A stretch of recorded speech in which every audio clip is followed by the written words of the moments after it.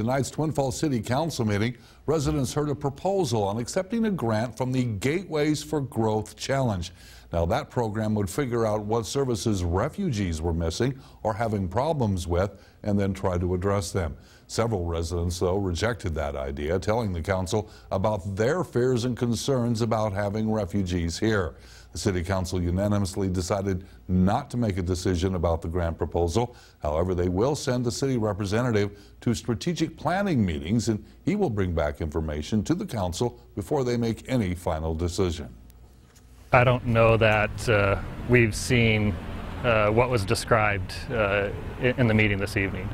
Uh, you know, our, our workforce uh, historically is, uh, they represent a very good uh, portion of our society. Uh, They adhere to laws.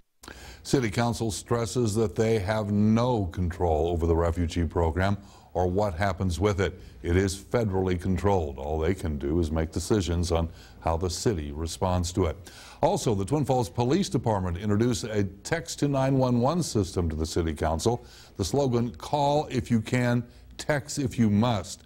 Now, it allows residents to text dispatch or for help and gives the hearing impaired a way to communicate with police. We recognize, and the industry has recognized, that uh, the need to text 911 is very important, and sometimes you can't make a phone call safely. The text to 911 system will begin on March 1st. City Council also unanimously voted to approve the zoning title amendment to modify the definition of an outdoor theater. In other news, an historic